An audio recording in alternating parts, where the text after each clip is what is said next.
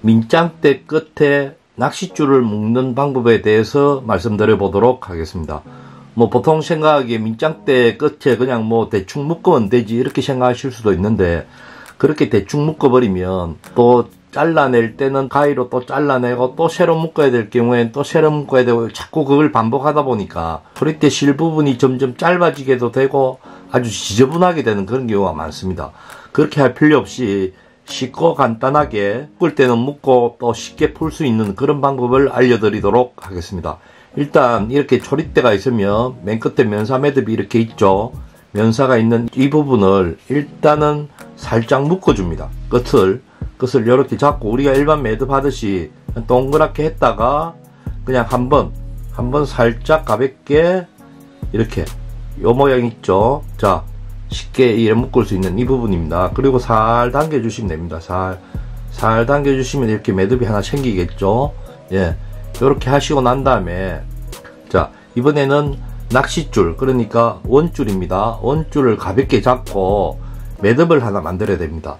지금 제가 하는 이 매듭은 앞으로도 상당히 많이 쓰고 유용한 그런 면이 많은 팔자 매듭입니다. 팔자 매듭은 낚시의 모든 부분에 상당히 유용하게 쓰고 있는 매듭입니다. 그래서 이번 기회에 잘 익혀 놓으시고 앞으로 많이 활용하시기 바랍니다. 낚싯줄 끝에 손을 살짝 잡고 왼손을 그 다음에 오른쪽에 또 낚시 쪽 이쪽 줄을 살짝 잡습니다. 그래서 두 가닥을 이렇게 살짝 겹칩니다. 두 가닥을 이렇게 겹치고 그 다음에 겹친 이 줄을 밑으로 밑으로 살짝 한 바퀴 돌리면서 이렇게 원을 하나 만듭니다. 원을 이렇게 만들었습니다. 원을 만들고 그 다음에 나온 이 부분을 잡고 다시 위로 위로 한번 살짝 돌려서 원을 살짝 만듭니다. 돌아감는다는 얘기죠. 예. 처음에 밑으로 한번 돌려서 원을 하나 만들고 그 다음에 위로 한번 돌려서 또 원을 만들었습니다. 그 다음엔 이 부분을 이 원 안으로 넣으셔야 됩니다. 이 원 안으로 자 넣어 보겠습니다. 살짝 넣으시면 됩니다. 살짝 넣었습니다. 넣으면 지금 이 모양이 되죠. 제가 이 왼손을 떼면 팔자라는 요 팔자 모양이 나오죠. 이렇게 팔자. 예, 이게 이제 보통 낚시에 많이 쓰는 팔자 매듭입니다.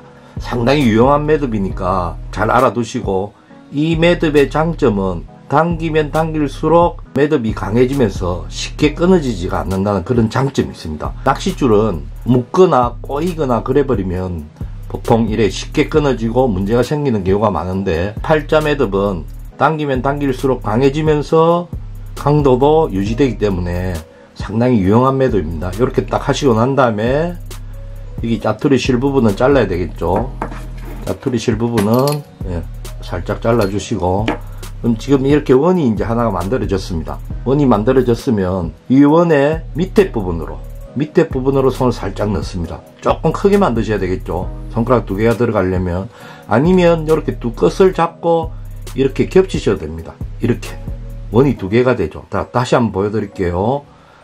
끝을 잡고 앞쪽으로 싹 눌러주면 이렇게 원이 두 개가 됩니다. 두 개가 되면 그 다음에 이 두 원을 아래쪽으로 아래쪽으로 이렇게 둘을 겹칩니다. 아래쪽으로. 자, 이런 모양이 됩니다. 두 개가 겹친 모양. 네, 이렇게 되죠. 두 개가 하나가 됩니다.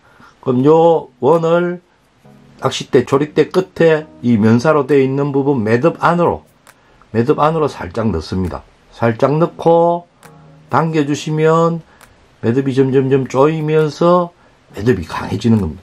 이렇게 하면 끝으로 이렇게 밀고 막 당기면 당겨도 절대 풀어지지 않고 점점점 조여드는 그런 매듭이 되게 됩니다. 그리고 만약에 원줄이 끊어지거나 다시 교체를 해야 될 그런 상황이 될 때는 이렇게 줄을 잡고 살짝 이렇게 밀어주시면 밀어주시면 다시 쉽게 풀립니다. 네, 쉽게 풀리게 되죠. 보시면 이렇게 풀리는 게. 그럼 다시 이렇게 빼시면 됩니다. 면사 매듭 있는 이 부분이 이제 조립대 끝실이라고 보통 그러는데 이 부분이 항상 깨끗하고 지저분하지가 않습니다. 아 여기에 줄을 많이 묶어버리면 나중에 잘라야 될 경우도 있고 지저분하죠 자 다시 한번 보여드릴게요 그냥 이 원 두 개 이렇게 살짝 넣으시면 됩니다 넣으시고 조여주시면 됩니다 그리고 앞쪽으로 살짝 밀어주시면 이 끝부분에 걸리기 때문에 당기면 당길수록 강해지죠. 이해가 되셨습니까? 네.